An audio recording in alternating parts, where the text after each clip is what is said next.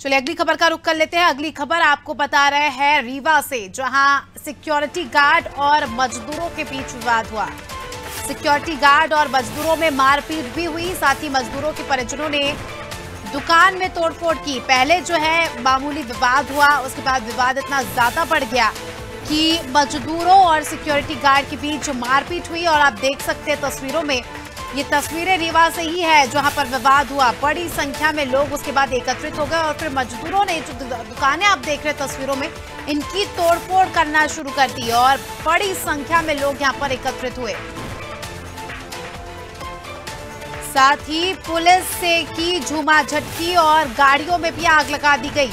मजदूरों का गुस्सा आप देख सकते हैं, पुलिस तक को यहाँ पर इन लोगों ने नहीं छोड़ा। पुलिस से भी मारपीट जो है इन लोगों ने की और उसके बाद सड़क पर खड़ी गाड़ियों में आग लगा दी। देख सकते हैं आप किस प्रकार से जो कार यहाँ पर रखी है, उसमें आग लगा दी गई।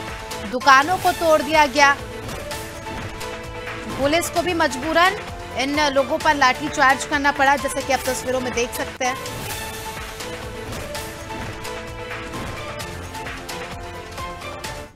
तो रीवा से आपको खबर बता रहे हैं, जहाँ पर मजदूरों और सिक्योरिटी गार्ड के बीच विवाद हुआ और विवाद के बाद जो है मारपीट शुरू हो गई।